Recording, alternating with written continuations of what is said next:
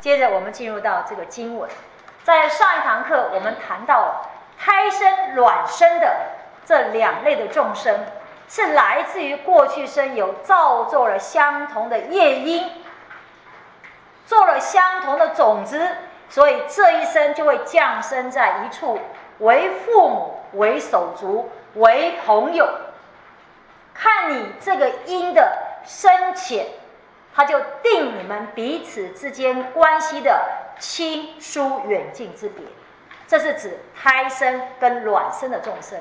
那湿生道跟化生道的众生，这两个，比如说厕所的虫子、这些蚊子啊、苍蝇啊、蚂蚁啊、嘎爪这些东西，它们叫做湿生道或者是化生道。那这两类的众生。它一定也要有人把它生出来嘛？某一种动物把它生出来，他不见得跟父母亲本身有任何的业因业缘没有，只是他各自己本身的习性秉性，就让他往这个地方去投胎转世了。和是什么？和是执着，这是指习性。我们对某一样东西太过于执着，舍不掉了。这个习性就会把我们往那个地方去驱使。我们常讲“蛾有飞蛾有什么见光性”，所以飞蛾扑火，一见到有光亮的地方的时候，即便靠近会烧死自己，它还会忍不住往里面去扑。这个都是什么？都叫做习性的染着太重所带来的那种真正的身在江湖，人在江湖，身不由己。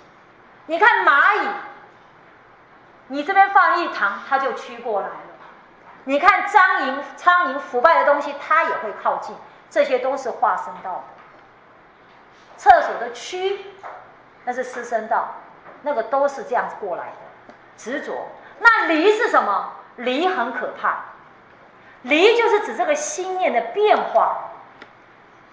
你的心念变化有没有不断的？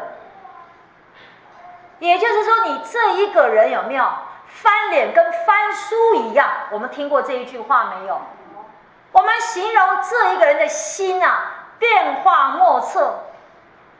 好，晴时多云偶阵雨。我们说李介良逼名翻脸像翻书，这不是好话。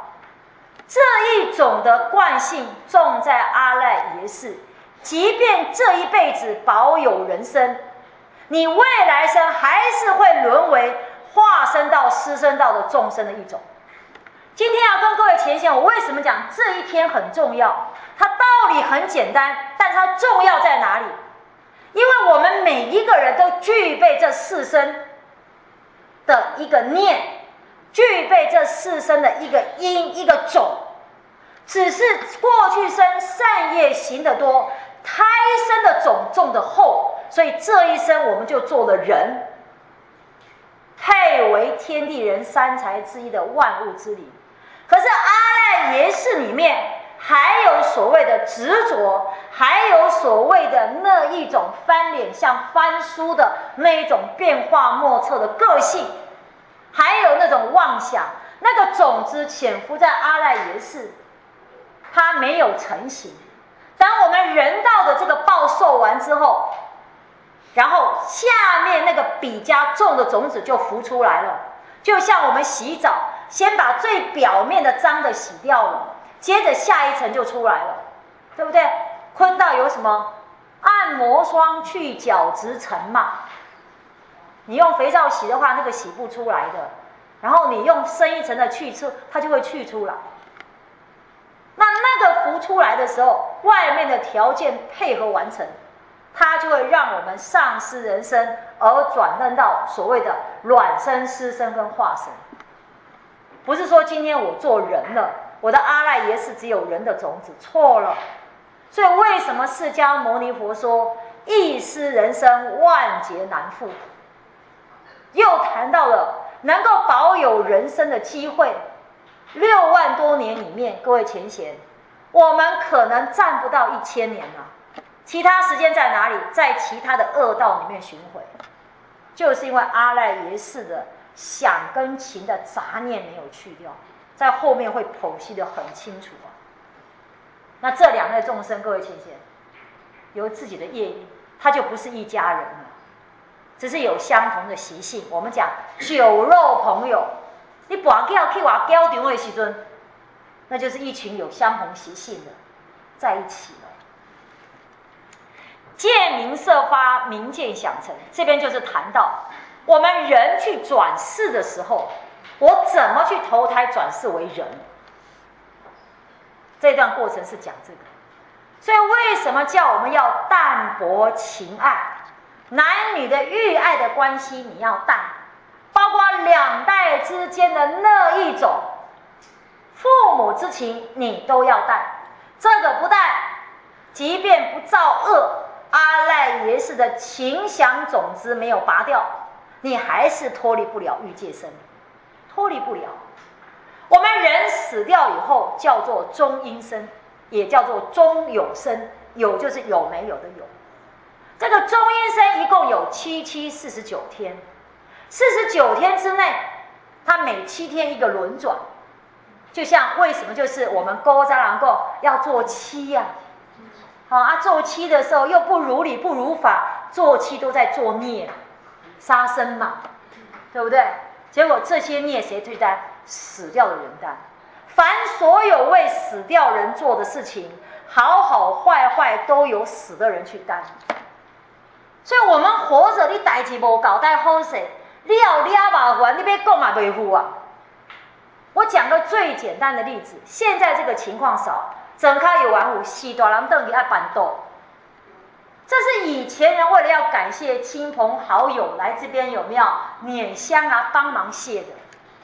以前不懂，我们不去论他对错。现在我们懂，烦恼一天的杀业、杀生所造成的伤害，不论你杀了多少，全部交给死的人带走。为下面我是为了你去办的，那无你死嘛无去拖。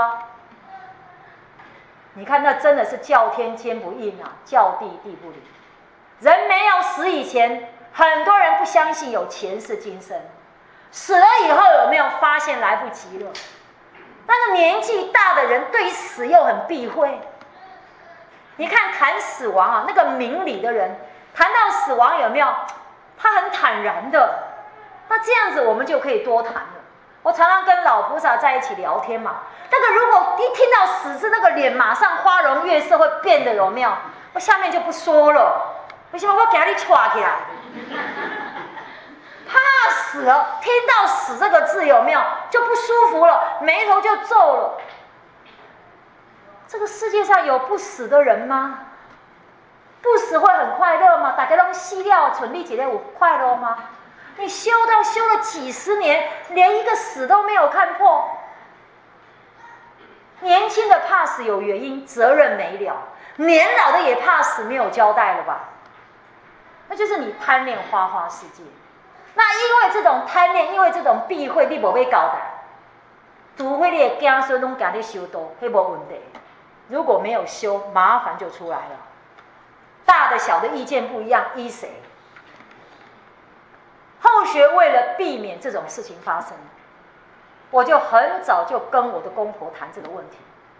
那个就是我讲的闻死色变，我就不谈了。不谈有没有？我观念告诉你。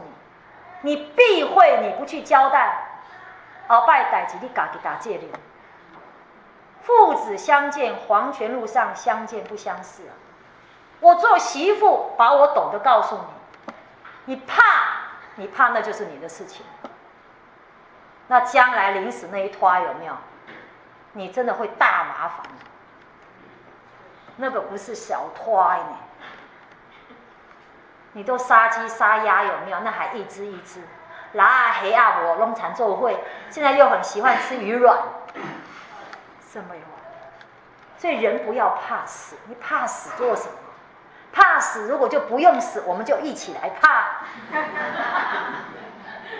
怕死还死得早，打刚得得喘，啊，日历一天天跑去有没有？想到死就害怕。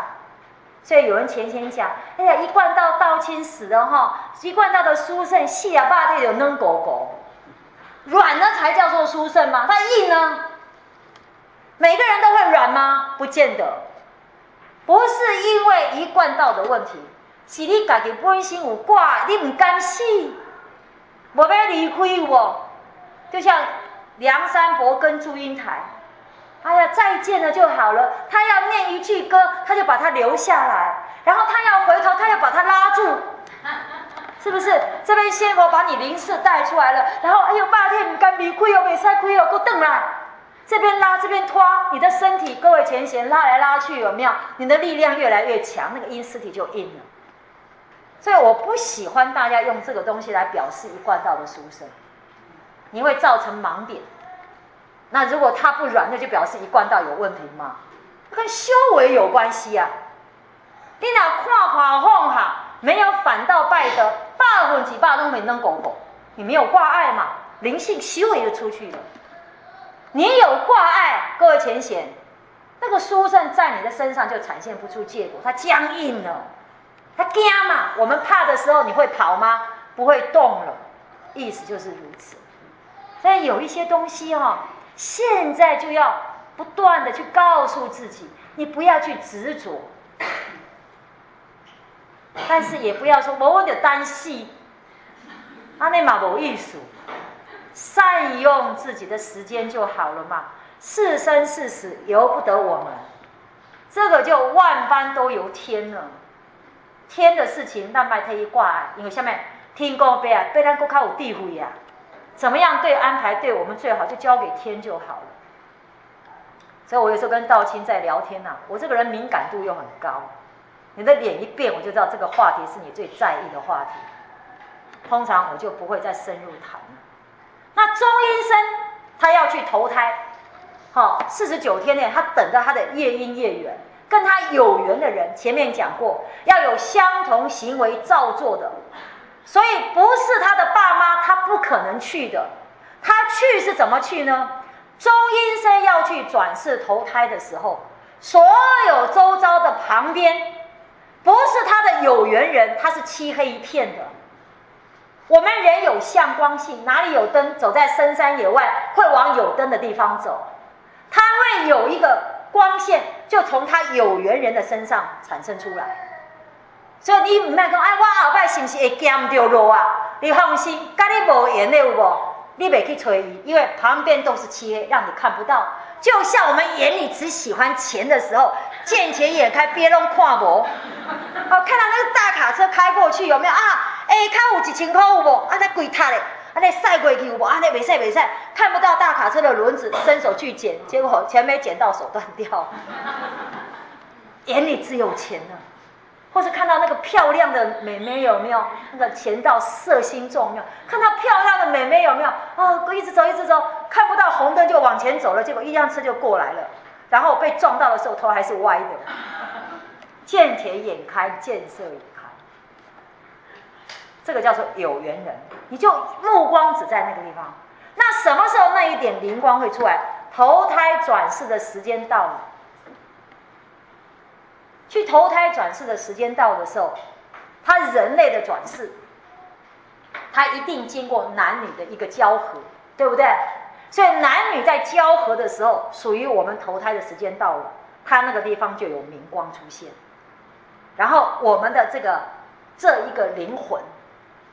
Q 一声就到了，不是豆豆啊行，免烦恼讲我即马八十岁才转去，较无方便。后摆是毋是找妈妈找较慢，找唔着啊？你放心，咱的灵性无即个问题，咻一下就到啊！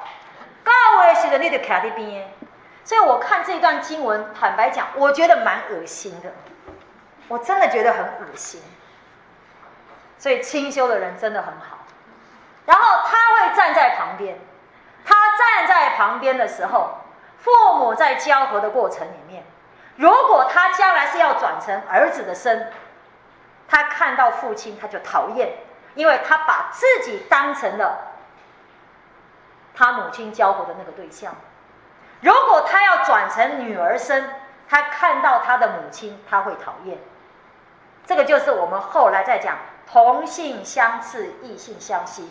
在我们要投胎转世的时候，就是这样子。经书讲的很清楚啊，见明色，色就是镜。当你看到有那个光亮的镜产生的时候，你这个中阴身的灵马上就到，马上顺着光到了这地方，看到那个情境，你的妄想就出来。然后意见就是同性看到自己要转成男儿身，看到母亲的动作，你就会讨厌父亲。这个就是同性相斥，异性相吸。当有了这个动念的时候，留爱为种，那一种的一念的妄想，譬如说你入胎了，把自己当成当事人，你就入胎了，留爱为种。无名原形，形原事，事原名色，然后就开始有了受精卵，就开始长成。于是有没有纳想为胎？怀着这个纳收纳，怀着这一点的情想，对于情的一个妄想，你受胎了，交媾发生，吸引同业，所以男女的交合会吸引跟你有关业因的人来投胎转世，依着这个因缘而有结罗兰二不胎，这个都是人在胎里面的。我们讲几个月几个月的那种胎形啊。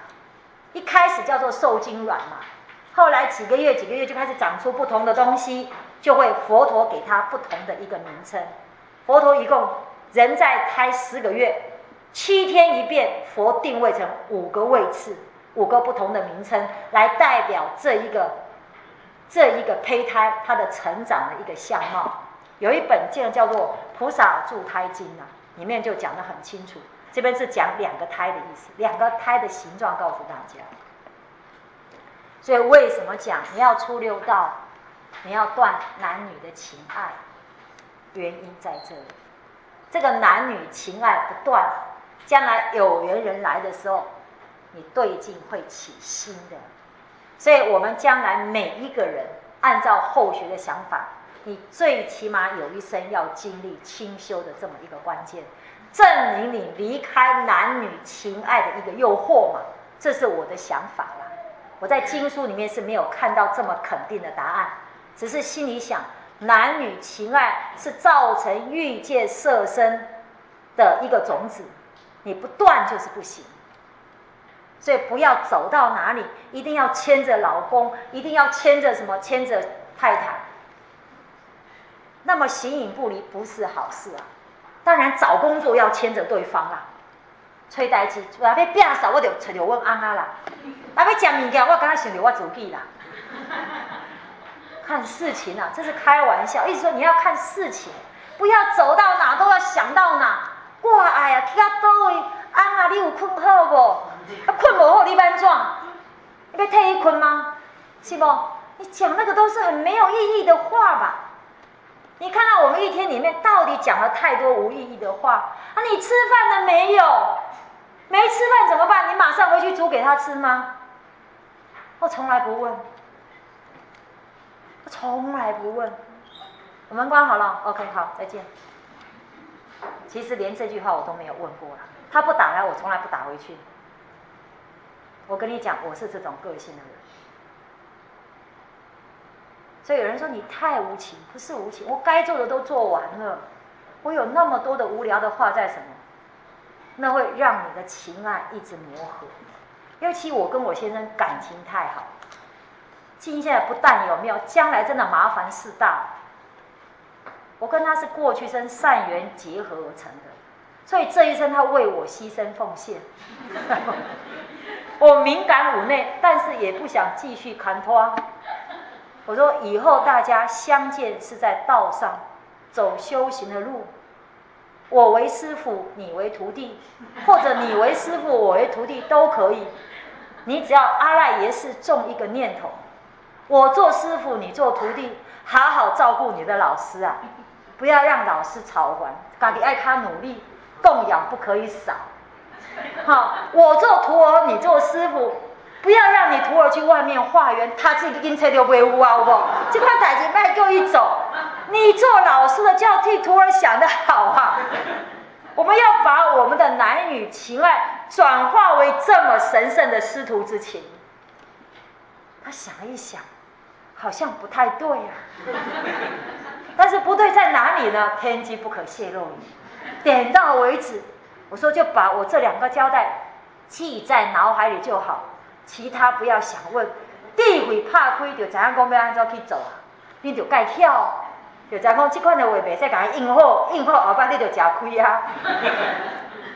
这是讲笑话，但实际上我是这样交代他的：男女情爱要断。你说那安尼，我若无挂念阮翁阮某，挂念阮孙阮囝会使无？赶快！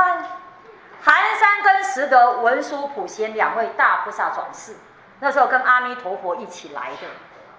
那两位有没有？一个是什么？是在庙里面做打扫的，一个是在外面的，他不是庙里面的。他这两个人很投机，当然呢，大菩萨来相遇有没有？他乡遇故知，当然投机啊。就像我们看到大家彼此都很投机啊，又有相同的志向。然后有没有在庙里的这一个拾德？庙里的是拾德，他为什么叫拾德？因为是国君老和尚在路上捡回来的金娜，改起多寒。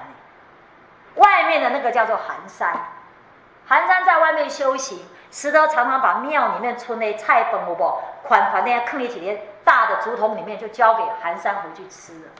这两个人有一次到外面一起去郊游，当然不是现在的踏青了。两个人到外面去，看到整咖 A 咖一个庄脚面办喜事的，两个人一看就开始笑了。嘎仔是婚事啊，那如果是丧事这样笑，我们很难共戏啊。两个就在笑，然后就在那边敲就唱了。你看他唱的里面的内容，大菩萨讲话是不打妄语的，不是实话，他一句都不出的。佛的三十二相从这边修成的，所以你不要讲。那我们看人要说好话，各位前贤，妄语不要乱打哦。什么叫做谎话？这个人明明八十了，你看起来皮肤又明明跟他十八岁，虽然不是讲开为，但是这个太离谱了吧？不该讲的话都不要说了。于是他们就唱了。他说啊，阿公啊。是呀，那个皮有没有？那个大骨的牛皮是阿公的皮做起来。然后呢，孙传阿妈重点就这个，孙传是阿妈过来的，安尼百分之百，阿妈要死的时阵挂念这个孙。哎呀，我今晚要转去啊，孙要未大汉，看到拢我带大的无？后摆啥物人甲伊照顾？毋知娶某会娶甲伊疼惜无？啊，我的金孙都毋甘啊？后摆你就嫁互恁孙，这是实情。临终的那一念很可怕。然后他又讲了，过去的鱼虾今嘛拢在边伫咧坐底下，人客做人客做亲戚朋友互恁请。啊，你的爸爸、你的妈妈有无？阿姨、阿姐去倒位？斗定的迄鸡鸭鱼肉就是他们转的。所以六道众生是这样子在轮转。多悲哀的一件事啊！就像监狱的妈妈看到那个小金孙的时候，很高兴，高兴就好了，有无？啊，尽量搞好你的心，母恁囝去讲，他唔免他挂海。如果儿女可以照顾的很好，你做阿公阿妈，你卖关胸贼，你管得多，人家催你催咖啡死，然后你又妨碍到自己将来。这一段流程就是如此而来的。你看这个念多重要啊！胎卵是化，随情所用，四生的众生不同的形体，随我们自己造的业，将来它就会感应出这样的一个肉体。那这四生的众生造什么业呢？卵为响生，会投胎转卵生的。像鳄鱼呀，它是卵生吧？它有鳄鱼蛋嘛，对不对？像鸡啊、鸭啊这些的，他的妄想太多。生前做人的时候，假如妄想太多，这些妄想心会逼使我们去造作一些不好的业，包藏祸心了。你看李林甫、像秦桧这些大奸臣，鬼刚在想一些见不得人的念头。去迫害忠臣，来兼什么？兼顾自己的权势地位，这个将来都还要再到卵生道里面去投胎，因为八十天这种种子种的太多了，所以整天在那边想着一些有没有怎么样去占人家便宜呀？有没有安装看他 gay 搞？各位前些年阿赖耶识就有这个东西，种卵生的种子。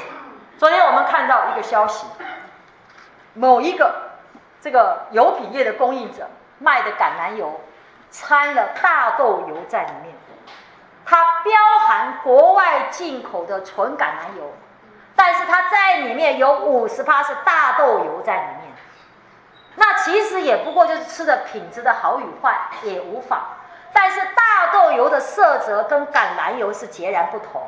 为了要让它一样，它放了人体不能够去拾取的什么色素，那个专有名称我不会讲，它就造成了对人人体的危害。各位浅浅，这个就是包藏祸心啊，阴谋诡计、偷金劫粮，希望谋得自己的财富。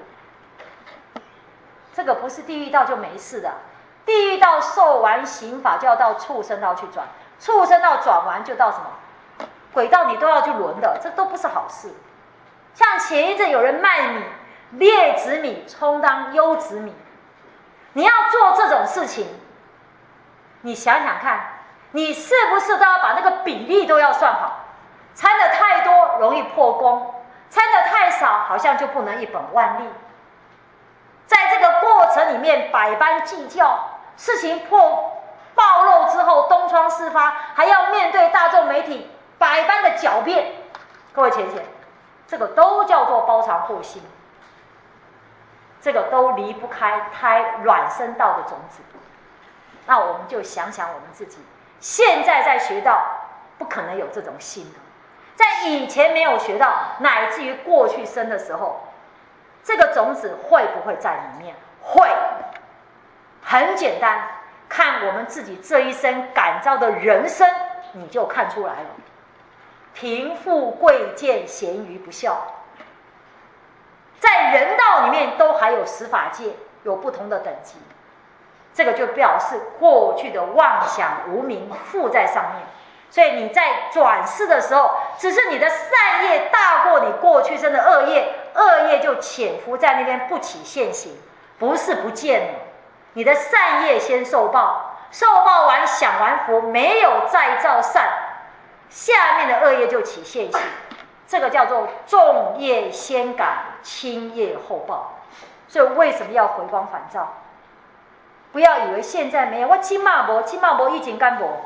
我拿我来讲，我小时候就犯罪，小的时候跟人家玩捡红点，捡红点算钱的。小时候跟那个隔壁的邻居，我那时候好小，哦现在想一想，那个那个阿季妈妈不应该，对不对？呃，一分一毛钱吧，我也忘掉了。那在玩的，我一直输，一直输啊，我都不会，我只会四对六，三对七啊，我就一直输啊。于是我就趁他离开的时候，偷偷看他的牌，看他手上还有什么牌，这也是包藏祸心啊。我记得那时候还是我姐姐在旁边一起，结果以为天衣无缝，没有想到手足相残。那个阿静一回来之后，他就跟他讲：“我妹妹刚刚偷看你的牌。”这是实情。虽然是儿时的一个动作，它就显现我的思维不是很好的、很干净的。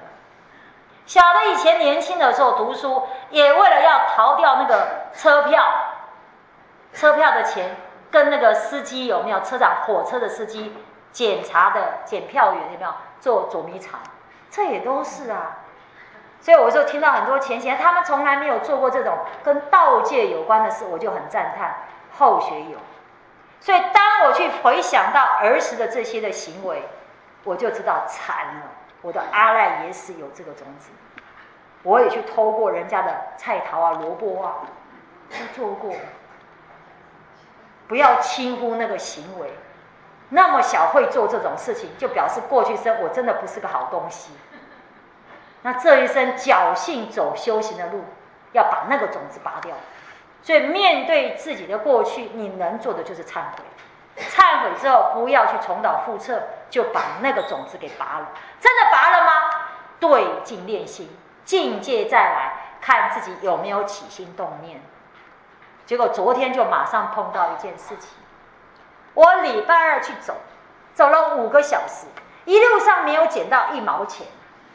结果昨天道清告诉后雪，他跟我们的在座的某一位前贤，到我们佛堂外面走了一圈，散步吃饱散步，捡到五百块钱。啊，后者就想，明天开始，今天晚上开始发动大家走每一棵小树，他在树下捡到的。对不对？我们去走树，美其名叫散步，其实是要寻宝。我就跟他们开玩笑，我五点钟我扣掉半块，对不？你今年打出去就五百块。明仔开始不要走淡海了啦，我就走外面就好了啦，对不对？那还有飞来的什么横财可言？这些都是笑话。其实这就是告诉我们，我们以为我们拔掉某一种不好的妄想。可是当境界再来，你的那个心念是什么？哎呀，早知道为什么不走那一条路？那就表示这个妄想还在那边。所以人要走出你的蜗居啊！你要走进佛堂，走进人群，要在承担工作的当下，看看自己有没有自己想象的修的那么完美。这就是随其所应。那这叫妄想。那贪因情有，因为这个妄想当初是包藏祸心，外面有一层裹着，所以你再来转世的时候，外面就被这硬壳给包着。所以人的一切的外貌啊，六道众生、十二类众生的外貌是自己选择出来的，不是上天替我们安排的。你看这个安排的多好。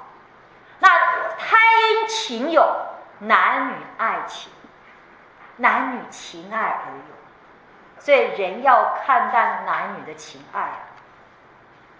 所以眼前就算是哎呀，我们现在看到帅哥、看到美女，没有邪思妄念，但是看到还忍不住要多看两眼。那个不是你没有，是有，但是我们所学的礼义观念，让我们不敢有非分之想。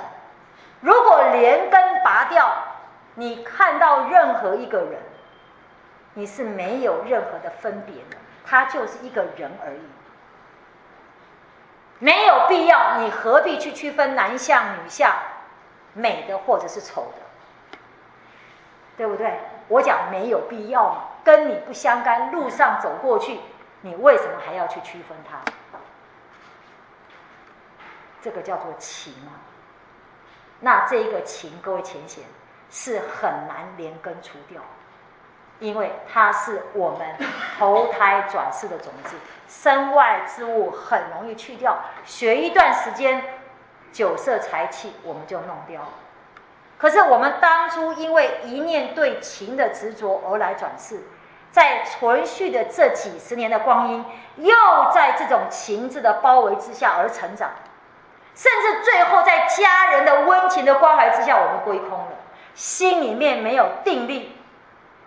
你最后的那一面又落在一个情字，又去了，又去转世了。所以我们讲贪贪财，可是贪跟爱在佛法当中它是一体的哦，有贪就会有爱，贪财就爱财，贪男女之情你就爱情不能舍，所以你不但是不可以的。师生道的众生，出生是软肉，没有壳的蜗牛，对不对？产雷啊，这些都是软肉，或者是蛆，苍蝇生的蛆宝宝。那现在因为文明世界没有这种肮脏的环境，早期我们五十岁以上都看过了，环境好的没有不会。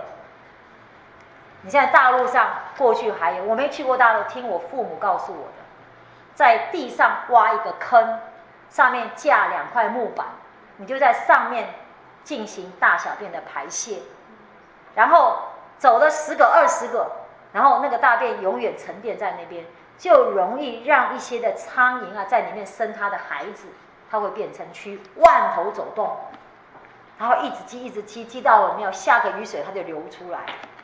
所以早期我们的生活环境真的蛮恶劣的。但是这样的恶劣环境，它也促成我们就在不好的环境里面也能够生存啊！真的是时势造英雄。好，这个师就是和，就是执着。师类师生类的众生，他已经失掉了胎生、卵生的这样的形体，他变成师生类。师生类的时候，他的形体是很维系的、很多的，对不对？然后他生长的环境是很恶劣的，那是来自于执着。执着什么？执着情，执着财，执着自己的脾气毛病。各位姐，他就会让我们念念不息，在一口气不来的时候，你就往那个地方去投胎转世。比如喜欢吃有没有？吃好的啊。我一定要山珍海味啊！我要满汉全席啊！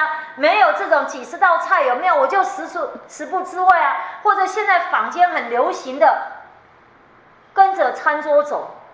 那天我看了一个戏一个节目，是新闻报道，说某一个夜市有没有在屏东开了，去访问到在里面吃东西的人，好几位是台北下去的，为什么？他说：“因为听说某一个摊位卖的东西很好吃，所以爸爸带着太太带着小孩就来逛夜市了。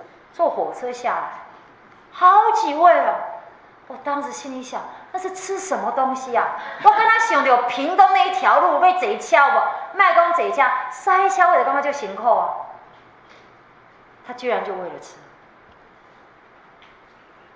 这个就是阿赖耶里面种的不好。”或者我们去追求追求什么名牌包啊、风行的时尚啊，跑到国外去。那一年跟前人到什么？到法国去逛了香榭大道。前人说这条街都是香榭大道，所有有名的名牌都在里面。旁边是凯旋门，不远地方就巴黎铁塔。坦白讲，我连动都不想动。假如不是为了要配合整体作业。我连那个门口都不想走，因为那个跟我不相干。一来价钱太高，二来我根本就不喜欢那个东西。我觉得我的观念比较保守，我不了解衣服为什么要做的一边高一边低，像歪歪扭扭啊，有没有？然后什么？我不懂为什么，我从小到大，我就是不懂为什么。所以我以前看人家剪头发，剪到这样斜下来。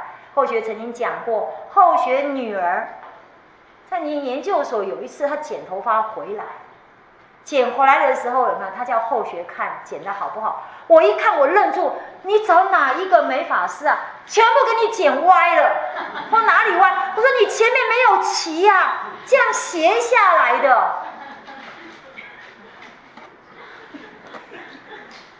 我说你怎么这样子？我说设计师，我说剪歪了。我说你不知道吗？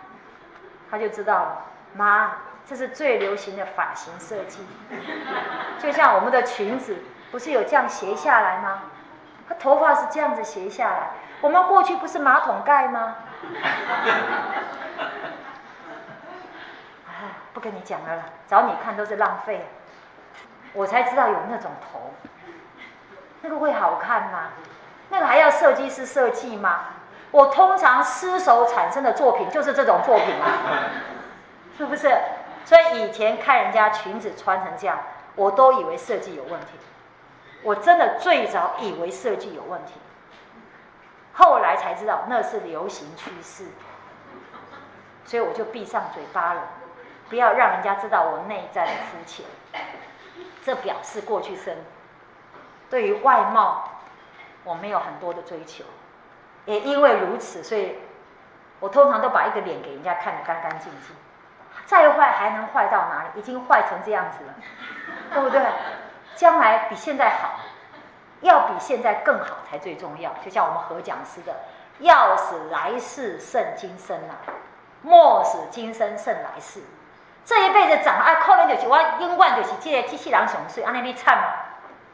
你下一辈子要比现在更漂亮。所以这个叫做什么？我们讲的执着，执着这个动。当你执着名利、权势、地位，你就会起邪见，起邪见就做不好的行为。李林甫勤快有没有？有。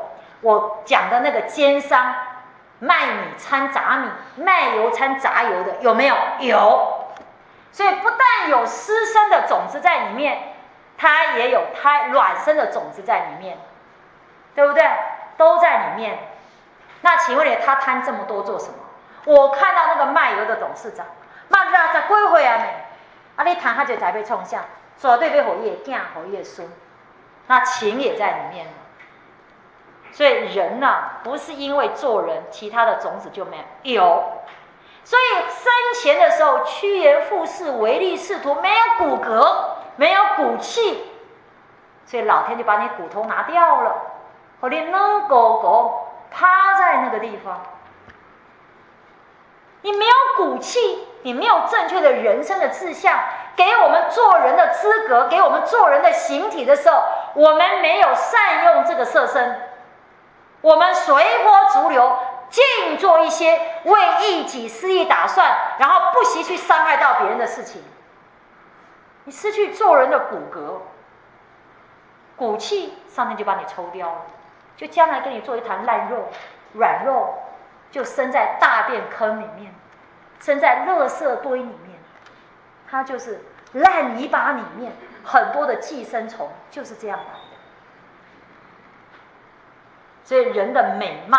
美外貌美好与否，真的跟父母都没有关系，是自己要负全责的。话以离异，离是变异，坤道比较多这个问题。春天呢，赶流行穿什么？秋天赶什么？然后今天裙子忽长忽短，有没有领口去做文章？然后头上绑过来绑过去，反正想太多的东西。双眼皮割一割，然后隆隆鼻子，这个已经是现象界太多了吧？反正看到镜子，对自己这个现在的样子就不是很满意，这样子喜欢变化，你看没有恒常心，对外貌没有恒常心，做事情喜欢半途而废的。之后呢，刚刚开始你的瀑布，后边是做不？拎机机啊，无要走啊，搞你，没有恒常心。对东西容易生生厌倦的，所以你现在会理解了吧？为什么佛字三一一波？为什么佛字只能化缘，不能自己营生？它都是要淡薄你里面的那种我执。所有这些不当的贪爱，都是对色身肉体的贪着。你吃得好，穿得好，住得好，就是让这个身体享受嘛。为了要人前显耀，所以不断的求变化，这一种种种心念的不定啊，各位前贤喜新厌旧，后摆就有机会做化身道，蟒啊、嘎抓啊、毛毛虫啊、蛇啊都要蜕皮，看到没有？毛毛虫长大会变成蝴蝶，蚕宝宝经过蜕皮，然后变成蛾，对不对？你看他这一生的生命的成长过程，他是不断的改换他的外貌。我们有从小到大有脱皮吗？除非开水烫到，是不是？那静雄那刚刚我下面变化，看到细汉的迄照片啊，今嘛到今嘛看起来差不偌济，是不？当然不要看到皱纹都差不偌济啦。那看到迄个太细的就看着太差太多了。所以人，我们最起码过去这一方面没有那么严重，不是没有。有没有那么严重？做人的种子种的多，所以先保有人生。可是保有人生，过去生的这些的习性会在阿赖耶是存在，它就形成我们现在不断的变化。吃饮食最容易看出来，奇怪，长马甲这，明仔马甲这，那大家拢食这。前两天我突然发现一个很有名的，呃，发现一个很好的作品，实际上那也是误打误撞。那一天没有煮饭，没有煮饭，晚上时间到了，什么办法呢？用面粉跟高丽菜、胡萝卜，对不对？然后切一些火腿丝，就把它煎成了一个一个的饼，把它煎成饼，因为平常很少煎，这样就应付过去，有饭也有菜，所以女儿上来一盘。先生上来一盘，哦，他们觉得很好吃，因为很少吃，对不对？然后女儿就跟我讲：“妈妈，你煎厚一点好不好？”煎厚一点，很像大阪烧。那很简单，明天开始一大早就开始煎，有没有？然后先生一盘，女儿一盘，然后晚上继续你一盘，他一盘。我也不过做了四次还是五次啊，连续下。我临走礼拜五要入班的那一天，我还交代我先生，高丽菜用完啦，啊你会记拜来去菜市买，用完礼拜顿来菜市就收起啊。拜二菜市嘛休困，你讲高丽菜要创啥？我讲要做迄大阪烧。我用完啦，阮查某家伫外口就开始讲啊，不可以让他起兴趣，一起兴趣有没有？我打了大阪烧，我才了解有没有？他们好像对这个东西太喜新厌旧了。我就觉得四五顿也还是很少啊。那打的诺安呢？你看嘛，做家庭主妇我要挺伤哎，是不是？所以后学的儿女就是被我锻炼出来。一样东西我煮上手了，我少说煮他十天半个月，我一定顿顿让你。为什么？因为我的记忆不断的在研发，在提升啊。所谓的研发，是我想红想到来再买再存几瓜菇类呀。对不对？啊，菇类也要技巧，因为菇类容易出水呀。然后可以放一些胡椒粉啊。可是他们的反应已经让我没有研发的机会。我不然想给他的下波底下气矿买，有不？后来我女儿这样一句话之后，我现在在里面又有一个反应出来了没有？他说这一句话，你女儿昨天就讲了，吃到第三次她就在讲。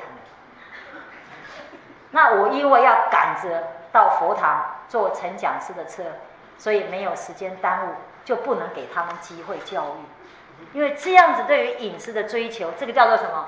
没有恒常心啊，变化无常啊，喜新厌旧啊。做妈妈的心在撩干呢，我是要你们的境界提高，好不好？在做帮啊好行啊，是不？我叫安尼用心嘛。这个讲起来是笑话，实际上各位，我是在告诉各位前行，你如何去鉴别自己的修行的火候。当然，我不是跟你讲，阿爸你打的龙赶快哦，那你家破人亡，不要怪到我啊。他贤贤要跟你理言，囡仔无要倒来教我，你卖搞我拐掉。对自己，你就较简单一丝啊。有囡仔，有翁，有朋友，我若去领导，你就唔通安尼，千万唔通。这个修行有没有？你对外对内要分出来，对自己不要那么麻烦，对别人要考虑到人家的接受度。那我就是没有这个同理心，忽略掉他们表面的欢喜，是很快就消失的。我就沉溺在自己的发明当中了。啊，连煮了五顿，连煮五顿，早午晚。为什么五呢？因为。做了一个便当，好不容易做出山珍海味，请你带便当，所以这个叫做变异。你对于花花世界，对于我们日常生活的东西，你有不断的想要求变之心，你不甘于这个样子，那个都不好。所以你看各位前，其实我们在这一方面前贤的染着是少的。从哪里看？从各位前贤的衣着来看，我们常常出现在佛堂。不是 A 装就是 B 装，对不对？那你穿这两种衣服的时候，穿的很自在，你就成了。你不要说这个而已啊，就这么一个小节就看出了，你在色的方面你就破了，没有变异心了。现在如果说又穿 A 装 B 装，奇怪，什么时候我当被黑的衫也当几六五的火狼跨买？那安内吼，这个地方你还要去注意一下。如果穿的很高兴，家在乎等有规定，请安内就会使，无安尼规工爱烦恼迄个衫仔裤就废去的。你若有这个感恩的心，这点你就超过。所以佛堂定这个事有什么有好处的？这个也是破我执的。素食的东西要怎么变化？坦白讲，变化性没有那么多的。你能够甘于这样清淡的饮食，那也是帮助我们在超越那一种我执的主宰的。因为吃、睡、穿是你一天二十四小时里面，你没有一天能够免掉的。所以从这三方面去检查自己内在的火候，是最容易看出端倪的，真的很容易。那这一点，后学对外貌不在注，不在意，但是对吃的有没有，还有不能突破的盲点。所以上一次去参班的时候，台南智德佛堂负责主理准备两天的菜饭，它里面煮了一餐是红烧面，哦，煮的很好吃。太好吃了，为什么？因为它配了韩国泡菜，有辣的。结果这样美食当前之下，有没有？所以各位不能贪吃啊，神志就不清了。然后我们的淑荣姐坐在我的旁边，我说：“哇，这个真的煮的很好吃，哪一个佛堂煮的？”她说：“是智德。”我说：“那这样子，下一次的班旗交给智德来煮，对不对？”她说：“不可以，因为这个都已经分配好的工作。”他要吃有没有？就来自得吃，皆大欢喜班来讲课就有得吃。好了，没问题。答应以后才想啊，请假我够冲动，因为到智德讲课比到戴德来太难了。戴德也当行路，智德无坐车就袂使，坐爱三点外钟，啊无踏车嘛爱三点外钟。所以各位浅显，你看一个食物不能突破，有没有？一念的无名，就做出这么冲动的决定。但是好在这个决定还不离谱，对不对？有一个原动力把我推到那边，但是讲师讲课为了这个东西好像就不光彩。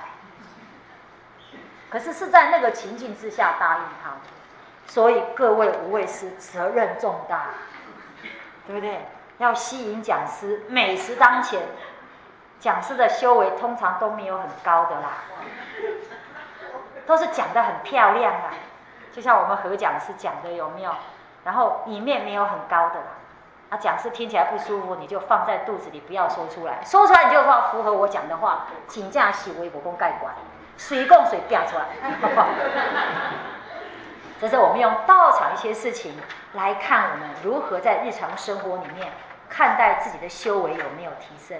虽然是小事一桩，但是积小事会成大事，这些心念没有淡化，未来生会出问题的。OK，情想合离，根相变异，胎卵湿化，胎阴情有，卵阴响声，对不对？合就是执着，湿生离是化生，这个四生的这个形体不断的在变，所有受业，受是因，业是果，这一种变化是因为自己所种的业因所感的一个业果，你是不断的轮的。只要三界没有出，六道没有脱，我们的形体外貌就没有成一个固定的形状，它会不断的变，所以众生的世界是这样形成的。接着我们剩一些时间，我们就来谈一些人道。在日常生活里面，刚刚讲过，父母、儿女、手足、朋友之间，它有相同的业因，特别是前三因，父母。手足儿女，对不对？他会聚在一个家庭，家庭圆满，我们就不在探讨范围之内。我们讲顺境不受，有可能做得到；逆境还要顺受，对大部分我们来说，它是一个很大的挑战。即便表面受了，心里面有种种的不平，我有我的怨的，我有我的气的。我们讲逆来顺受，是连怨都不可以起哦。没有不平之气的，你都不能有。实际上，不论佛经也好，道家的经典也好，他都把这样的一个五伦关系的形成，他解得很清楚，散落在各部经典当中。我举个简单的例子：这一生我们遇到的一切恶业，一切的恶果，承担的恶果，承受的痛苦，跟你过去生造的恶业有直接的关系。譬如我们讲手足。你看人家孔融让梨，对不对？哎，奇怪，我家的手足怎么整天兵戈相向，对不对？我们也看过新闻呐，七十多岁、八十岁了，还为了门前的那一块地有没有把它围起来，不让对方走？恭喜整咖偏远的地方，黑个所在盖到无两千块，两千块他不放他哥哥两个兄弟，从年轻打到八十，还去法院告。这个是具体的新闻啊，我们看到，我们也看到了手足成家立业之后有没有相见不相识，不诽谤你已经是什么对你很客气的了，背后起起除了攻击大堆，见面两个人就开打，或者我当时兄弟啊拼流力，手足有没有占到你的便宜，钱财有损失了？原因在哪？假如周边有这样的手足，财务有损失，情感受创伤，那是因为如果你是受害者，弱的那一方被欺的那一方，我给你一个角度去观想，过去生呢，我讲它只是一个因哦，不是所有人都这样子哦，所以你不要不舒服，它有一个因是这样子的，过去是你跟人做朋友的时阵，假仁假义。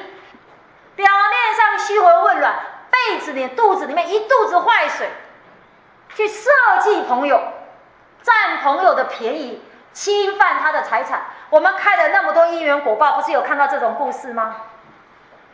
你欠他的债越，你把他那边偷来的越多，你让他受的伤害越多，你们将来就会做手足，他要从你身上拿回去的。拿你的钱财，他也要迫害于你。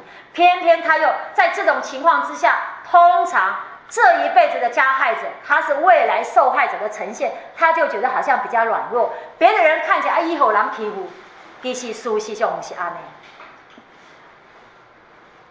他的阿赖耶识过去造作了这个行为，他理亏，所以阿赖耶识里面的东西，他就会属于弱的，这种恶种子在里面。那那个被害的人，他是因为被人家家，他的怨气很强，所以有没有？他是乘着那股强力的怨气，他来去找你。那我们阿赖耶识里面，因为有欺人的这一股，我们理屈的，我们造作的恶行，所以在我们投胎的时候，就集结在我们的命宫里面。所以为什么看你的八字会知道你的命在哪里？它到了一定的时间的时候，它就开始起作用，外面的缘就会起来。所以你看，囡仔细汉奇怪，细汉的时阵好好，大汉那玩家相拍相抬，时间不到，到了时候一件东西，它就产生了火花，它就开始斗，它就开始伤，你躲不掉，你没有进化掉，你躲不掉，这是手足之间其中的一个因由啊。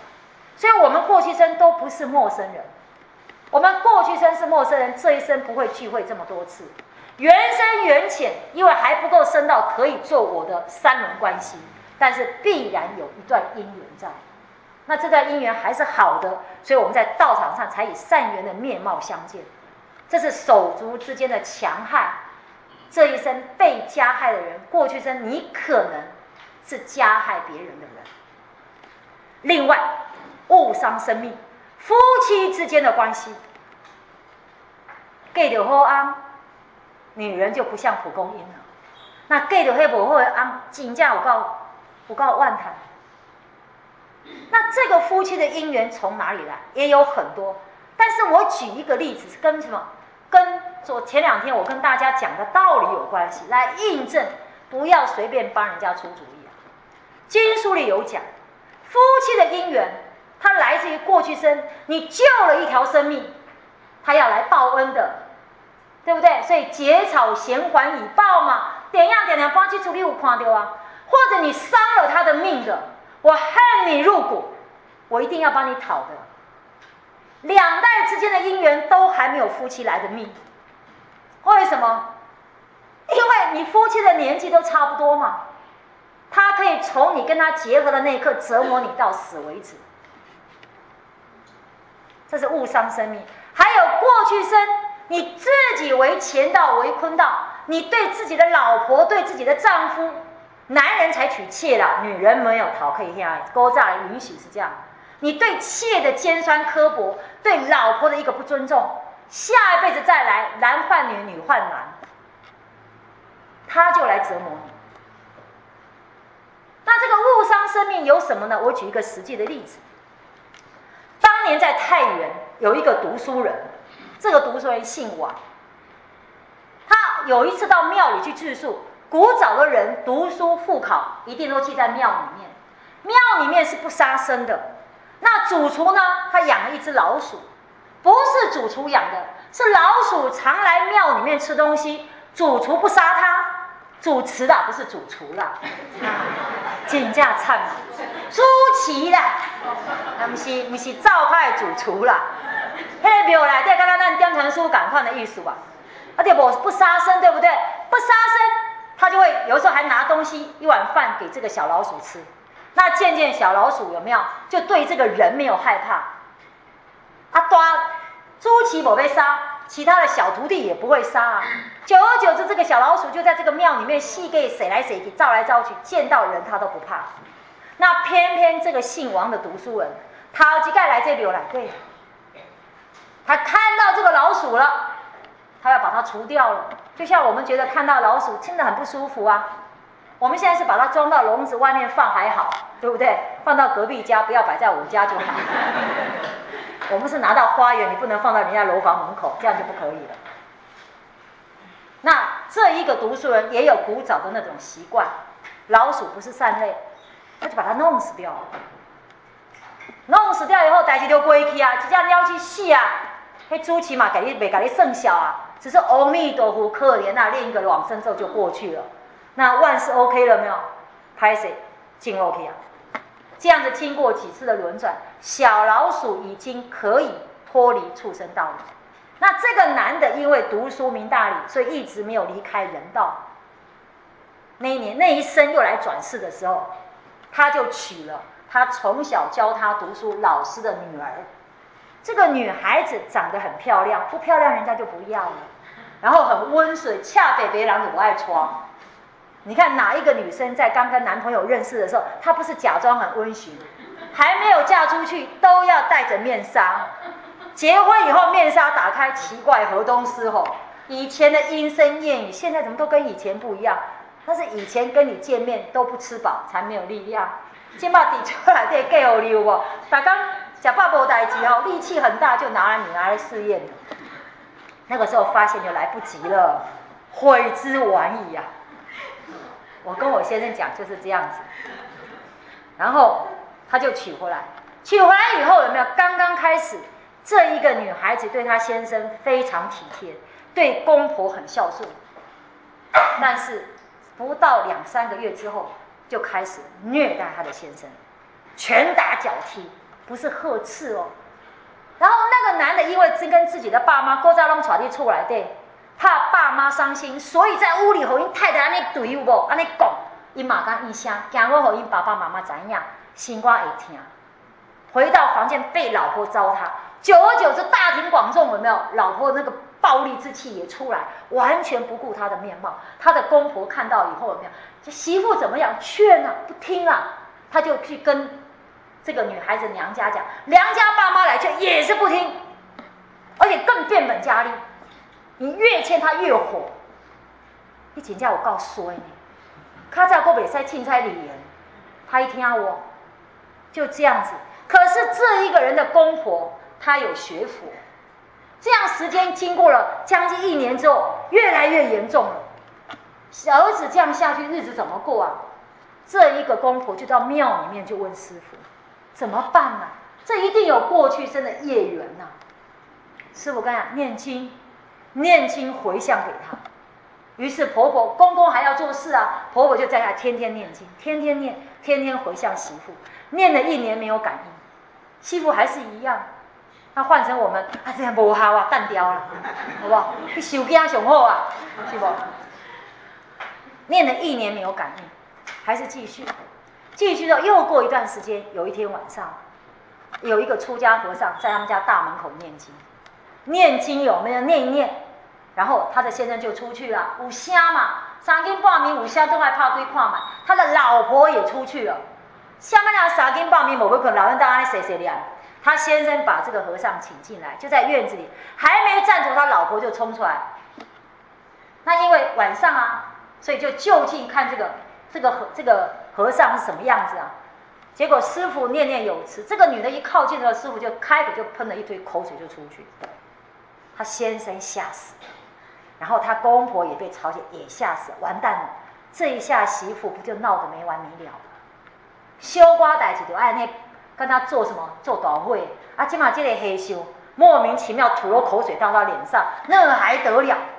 鬼给会包括用人弄错了一蛋，没有想这个女的不讲话，看着师傅一眼之后就回到房间了。回到房间有没有？那师傅还在那边念念念。那个女的回到房间不讲话，也没有再出来过。第二天也不起来。哎，太太不骂了，被他骂习惯，有红我搞他骂，看他怪怪，安慰我，也可以猛一太太。是不是哪里玉体不好啊？不舒服啊？太太也没有讲话，中午也没有吃饭。到了晚上，先生又进去问了，这还得了？不吃饭还得了？赶紧太太回系列。结果他太太就突然就掉眼泪就哭。他说他花了一个晚上，一整个白天在思索，嫁给这么好的先生，有这么好的公婆，他为什么无名怒火这么大？昨天师傅这样子吐了他一下，他就冷静下来，他觉得自己好忏悔，没有好好对待自己的先生，对待这个家庭，差点这个家被他给毁掉了，所以他跟他先生跪着道歉，跟他公婆道歉。那那一个的出家生来的时候有没有？那个媳妇不是进房吗？他就把这一段姻缘就告诉了那对公婆。你的儿子就是那一个几代以前那个姓王的读书人来转世，那个现在的媳妇就是当初在庙里面被他弄死那个小老鼠。所以燕家路仔见面的时候有没有？他就要报仇了。所以各位浅显。佛堂的生物不能杀，我要跟你们讲的就是这样子，它有它的因缘在，你只能想办法把它的伤害降到最低，你不能站在万物之灵的角度说这个老鼠脏，我要把它杀掉。你干嘛不要紧，在你介意，但是后摆来做人的时阵，我会记到什么翁，娶到什么某，我就唔知啊。经书里面有这么一个故事：佛是如鱼者，不忘鱼者，所以我们要去注意。